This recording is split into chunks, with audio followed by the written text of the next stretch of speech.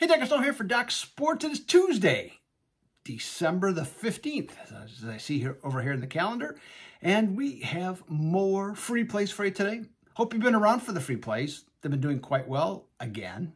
Hit five out of the last six. Had the uh, had a college basketball winner. If you went to my page Monday, so that's that was another winner, and uh, so and had a number of winners recently in in football. So that was good, along with a little bit of college basketball to boot.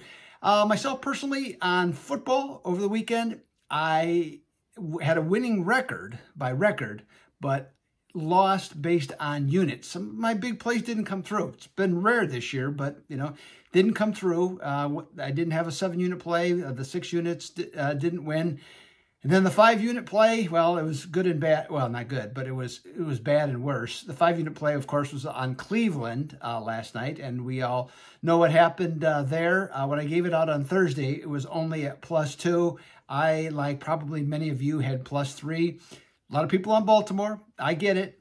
I, but you know, um, don't even know what to say. Frankly, it just just was one of those deals, and uh, I've firmly believe fate has as much to do with the outcome as anything. Just seemed like it was kind of meant to be with Jackson coming in, how, how it worked out. But you know what? That game's over. It's water under the bridge. Football's coming ahead, plowing ahead this next week. And we got college basketball. And today I got a five unit best bet along with two other plays that you can pick up for just $30 at Docs today.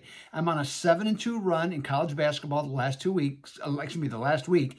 And uh, that's, you know, that's only nine plays over seven days. Well, you know what? Early season, I never force plays. Okay. I just take, take it slow and easy.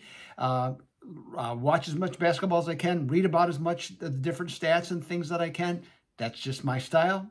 Uh, generally works for me. And right now it's off to a very good start just overall. So we're going to try and keep building on that tonight with, like say, a five unit best bet and two other plays for just $30 at Docs. And speaking of basketball, let's get to today's free play. And this play was this close to being on the list as a fourth play just couldn't couldn't quite do it, but I still like the game quite a bit. Okay, so India, uh, it's uh, St. Louis is playing Indiana State. Now, Indiana State uh, might be considered a tempting pick in some ways because they just lost to Purdue as 12 point, uh, as uh, excuse me, 15 point underdogs by just 12 points.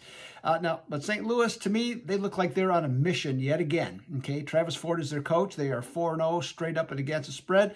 And the though the Billikens have only played one really quality opponent so far, and that was LSU, but they got the job done. And the thing that I really like about the Billikens in this spot is their defense has been fantastic. They are averaging 20, they're averaging forcing 21 turnovers a game.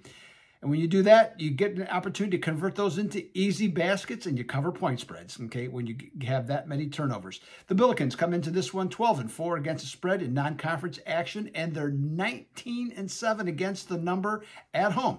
If they have successfully covered three or more consecutive games, let's have St. Louis to take down Larry Bird's alma mater uh, by a score by winning by 16 or more points. All right, so we're going to take St. Louis minus 13 against Indiana State. So there's your free play for today. I'll be back tomorrow with another. Don't forget, five unit best bet goes today. This is Doug Upstone for Doc Sports. Until Wednesday, I'm out.